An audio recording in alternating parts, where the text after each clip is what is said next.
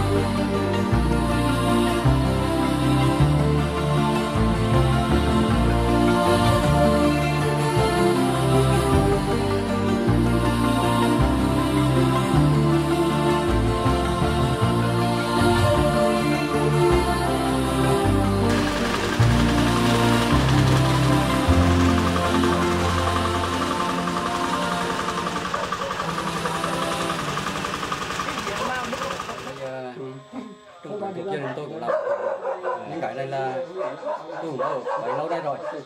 Đây là coi như coi như coi như có một cái, à, cái cơ duyên mà coi như là anh em mình hội ngộ với nhau. Thì thôi các anh cũng à, chúc các anh coi như làm à, thực thiện để sau này à, mình có chỉ à, chú coi như là phước hữu lầu gì đó.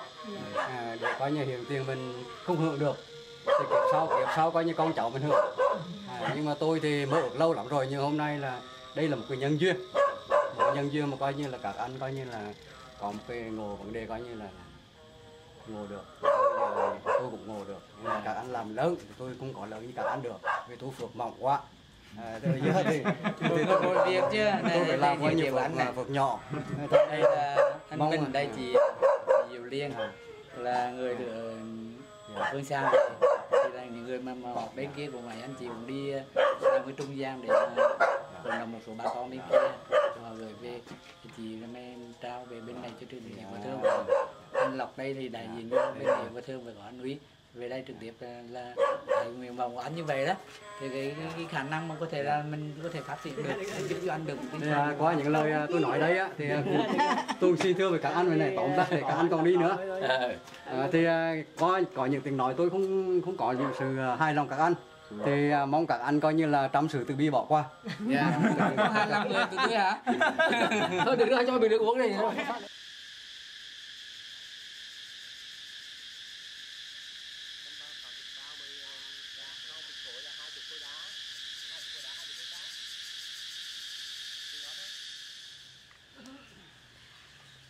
sáu mươi hộ 60 hộ tức trực Dạ, trực trực tiếp tiếp ở dùng- sử dụng cây Đó, cầu này. rồi, rồi. và một hộ trung bình bao nhiêu người? Từ sáu bảy người chín mười người đi con có. đông đến cô cô à, ra 6 đến 8 người. Rồi rồi. Ừ, tức là 110 hộ mà nhân cho 8 người là 770 người. Đại khái là như vậy. Ừ. à, và mình mình cho cái tàu này là để dùng vào cái mục đích gì? Vận chuyển hàng nông sản. Chuyển hàng hóa nông sản đi, đi chợ.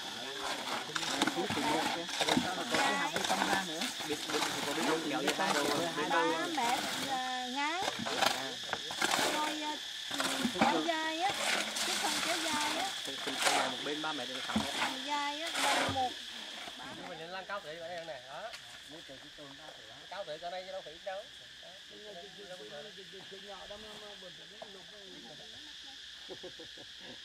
À bắt đấy. Đây có ai có ai cần mổ mắc cơm á? Đây đây có chương trình mổ mắc đó hai đứa một trăm rưỡi đấy. Chi phí là khoảng bao nhiêu khoảng nhiều á thì xin mục đích là xin nếu mà bên bên bên bên, bên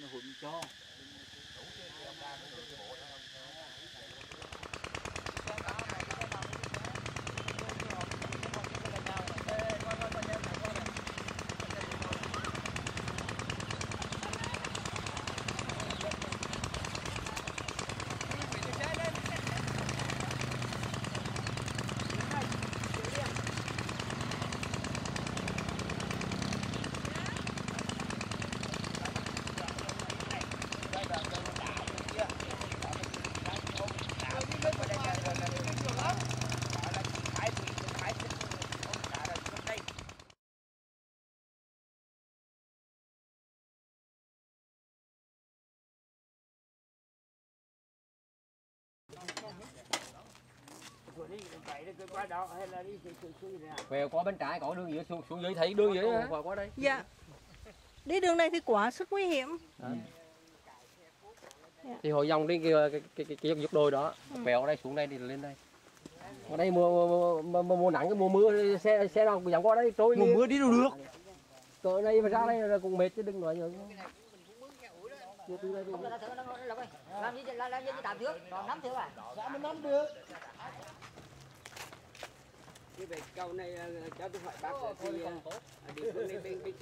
Đấy, nghe cái bỏ mà trong trong này. Cố gắng một chạy con cô treo lắc lẹo gặp gần khỏi đi. Trời trời đi mà ngọn công dễ thương chưa? Con đi trường học mẹ đi trường đời. Đừng dịch hai bên nó gai không á? lại đây chị chị chị chị chị vô đứng dây gai gai không á